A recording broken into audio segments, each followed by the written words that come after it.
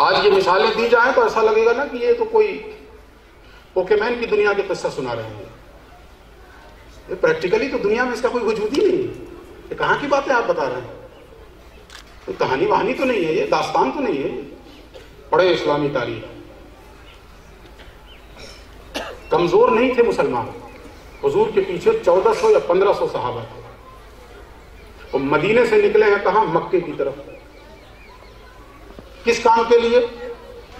वो जो पवित्र घर है। जैसे कि हिंदू धर्म में भी यात्राएँ होती है ना, अमरनाथ यात्रा होती है, फला यात्रा होती है, फला यात्रा, ऐसे ही हमारे यहाँ, इस्लाम में, उस यात्रा के लिए निकले। जो भी तरीका है, इस्लामी तरीका, उम्र करने का या हज करने का, उम्र की गरज से हजूर निकले। रास्ते में इन लोगों ने हथियार दिखा दिया अधर्मियों ने, मक्के के अधर्मियों ने रास्ते में रोड़ा डाला, रुकावट पैदा की, नहीं जाने देंगे। ये दादागिरी थी कि नहीं थी? तो दादागिरी थी ना भाई। वो अल्लाह का घर है। अल्लाह ने हमें पैदा किया है, मैं उसकी मखलूक हूँ। उसका घर है, मैं क्यों नहीं जाऊँगा? लेकिन जिसकी लाठी, उसकी भैंस। दादागिरी दिखाई, उन्होंने रोक दिया। बहरहाल ये कि हुजूर रुक गए। रुके तो लेकिन साथ में एक मुआयदा भी किया। अब जो मुआयदा हुआ है, उसको सुने आप। उसकी शुरुआत सुने आप। मुआयदे के पॉइंट्स क्या है वो बाद में बता रहा हूँ मैं आपको, जो शुरुआत हो रही है, जो कॉन्ट्रैक्ट लिखा जा रहा है ऑन पेपर हज़रत अली ने लिखा, ये मुआदा है, ये कॉन्ट्रैक्ट है मोहम्मद रसूलुल्लाह की जानिब से। उधर से जो आया था, अधर्मियों का एजेंट, उसने ऑब्जेक्शन किया, नहीं, रसूलुल्लाह काटिए, किसी का तो झगड़ा है, हम रसूलुल्लाह थोड़ी मानते हैं आप। हम मैसेंजर ऑफ़ गॉड थोड़ी मानते हैं आप?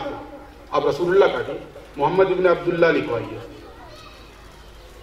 अब बताइए, मैं मौलाना हूँ तो क्यों नहीं लिखूँगा मौलाना? कोई हाफिज है तो क्यों नहीं लिखेगा हाफिज? ये डिग्रियाँ दुनिया ने दी हैं तो हम तो चढ़ के लिखवाते हैं, लिख। नाम के सामने कैसे नहीं लिखेगा किसी पोस्टर में नहीं लिखा जाए तो प्रोग्रामी में नहीं जाएँगे। फिर ये ऐसी की तैसी पोस्ट कम करता है मेरा। मेरा मरतबा कम करता है। ये डिग्री दुनिया ने दी है ना हमें पैगंबर को ये मनसब तो अल्लाह ने अदा किया था। अल्लाह ने रसूल बनाया था। अल्लाह ने अपना मैसेंजर बनाया था। पैगंबर चाहते तो अड़ जाते। तुमको नहीं मानना, नहीं मानो लेकिन मैं तो हूँ। इस बात में सच्चाई थी कि नहीं? लेकिन सिर्फ़ इसलिए कि कत्लो गारतगरी की नौबत ना हो। नफरतें पैदा ना हो। झगड़े पैदा ना हो, इख्तलाफात ना हो, किसी तरह सुलह हो जाए, किसी तरह अमन कायम हो जाए, हज़रत अली को रोकवाया। हज़रत अली से कहा, काटो मोहम्मद रसूलुल्लाह काट दो, मोहम्मद बिन अब्दुल्ला लिख दो। हज़रत अली ने हाथ उठा लिए, या रसूलुल्लाह, मैं नहीं काट सकता, ईमान है मेरा इस पर। रसूलुल्लाह पर ईमान है मेरा। ये मेरी हिम्मत नहीं और ज़रूरत नहीं है कि मैं उस पर कलम चला दूँ। हजूर ने फरमाया अच्छा लाओ मुझे दो। खुद से वो पेपर लिया और हजूर ने रसूलुल्लाह का लफ्ज काट दिया, मोहम्मद बिन अब्दुल्ला लिखवाया। अब बताइए, इससे बड़ी मिसाल दुनिया में अमन कायम करने के लिए कोई ला सकता है? कोई ला के तो दिखाए? आज हम जिस हस्ती की याद मनाने बैठे हैं, वो हस्ती सारी इंसानियत के लिए मैसेंजर ऑफ़ गॉड है। अल्लाह का रसूल है, अल्लाह का पैगंबर है। और सारी इंसानियत की फलाह बहबूद उसी हस्ती की तालीमात में छुपी हुई है। उस हस्ती की आफाकी तालीमत में छुपी हुई और फिर आपको हैरत होगी, जो शर्त रखी गई है वो भी सुन लें आप। अच्छा मुसलमान कमज़ोर नहीं थे। 313 उतर गए थे, यहाँ तो 1400 1500 थे। कमज़ोरी क्या थी? और बड़े बड़े जरी साहब, दिलेर साहब, जो हज़ार पे अकेले भारी उमर इब्न खत्ताब जैसे लोग, अली शेर खुदा जैसे लोग, अब वो बल खा रहे हैं, बिल्कुल। नहीं यार रसूलुल्लाह, ये नहीं होगा, फैसला होगा, तलवार फैसला करेगी। ज़ाहिर है उस मनसब पर कोई तो नहीं पहुँच सकता ना।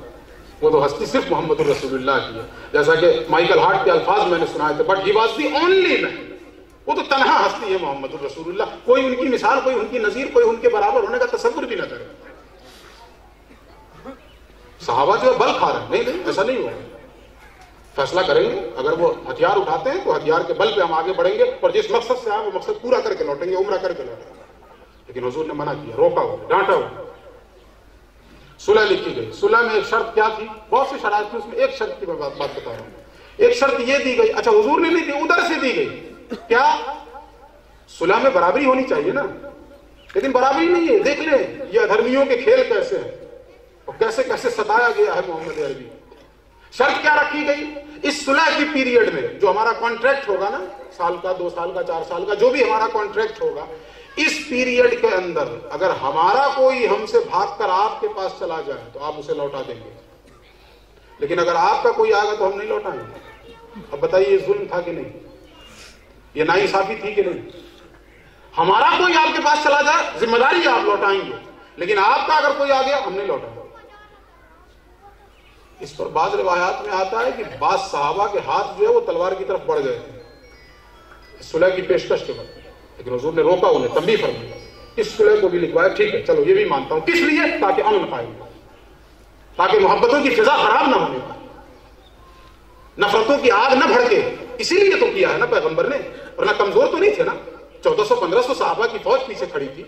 और ऐसे लोग जो एक इशारे पे गर्दने निछावर कर गए और वाइब मसूद ने यही तो कहा था ना उस कौम से जीतना तुम्हारे बस की बात नहीं है, जो कौम मैदान अमल में, मैदान जिहाद में जीतने के लिए नहीं आती है, मैदान जिहाद में मरने के लिए आती है। उस कौम से जीतना तुम्हारे बस की बात नहीं है, इसलिए अपने अपने इरादे वापस कर लो।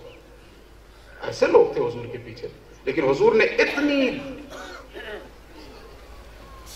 बड़ी शर्त, इतना ज़्यादा झुक कर जो कबूल फरमा लिया है, वो सिर्फ़ और सिर्फ़ दुनिया में अमन कायम करने के लिए कबूल फरमाया और हुआ भी ऐसा, अभी ये शर्त लिखी गई एक शख्स आ गया।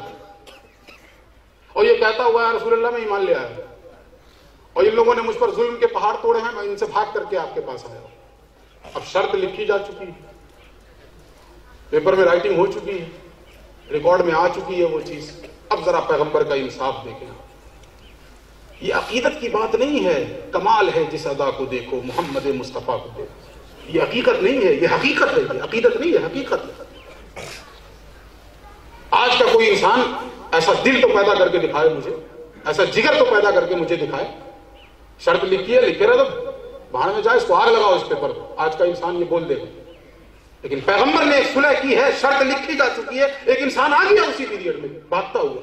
यार रसूल में ईमान ला चुका हूँ, और ये लोग मुझ पर जुल्म के पहाड़ तोड़ रहे हैं पना दे मुझे। हजूर ने फरमाया, शर्त लिखी जा चुकी है, मैं तुम्हें वापस करूँगा और वापस कर दिया है। लाए जमाना इसकी नजीर, लाए जमाना इसकी मिसाल।